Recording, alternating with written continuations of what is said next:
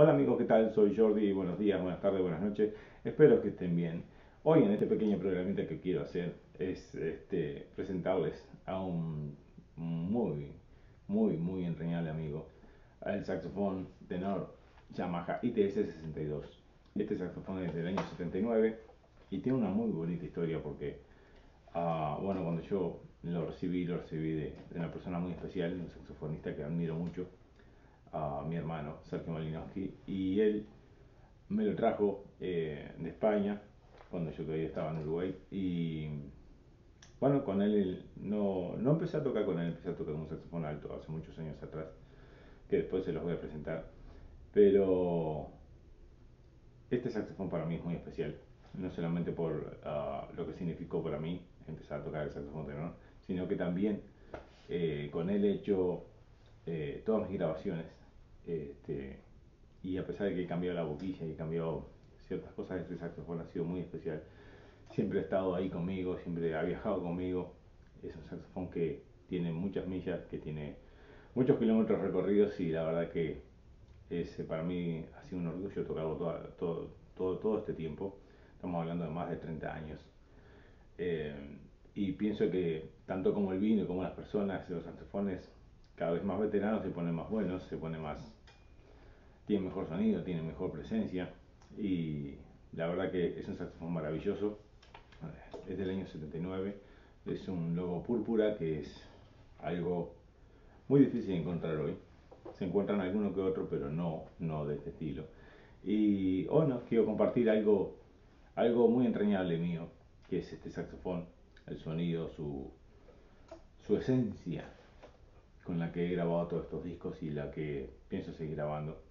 Es un saxofón muy especial, ya les digo, a pesar de que tengo otros saxofones, tengo Selmo, Yamaha, Keiwer, eh, Yanagisawa, he tenido, he tocado con un sinfín de saxofones en vivo, pero cuando me toca grabar, cuando me toca hacer algo en serio, voy a este, que es el saxofón, para mí, por excelencia, eh, en tenores, es uno de los mejores que hay en el mundo, pero también porque tengo una nostalgia con él, no solamente porque me lo, quien me lo regaló, sino también por, bueno, por toda la historia que tiene conmigo.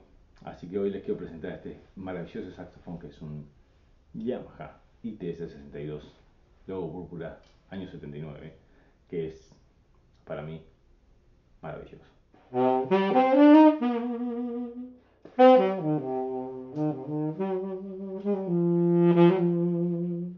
Mm-hmm.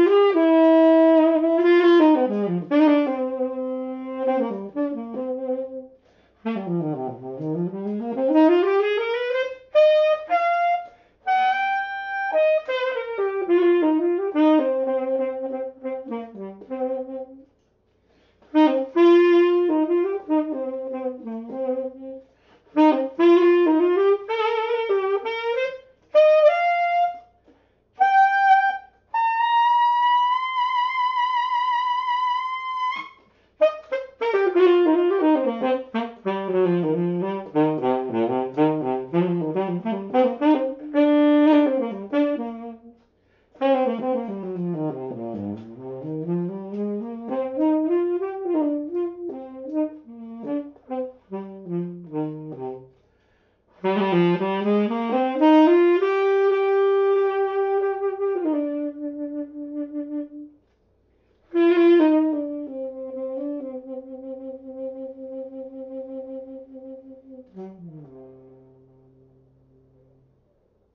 espero que les haya gustado esta pequeña demostración de este hermoso saxofón.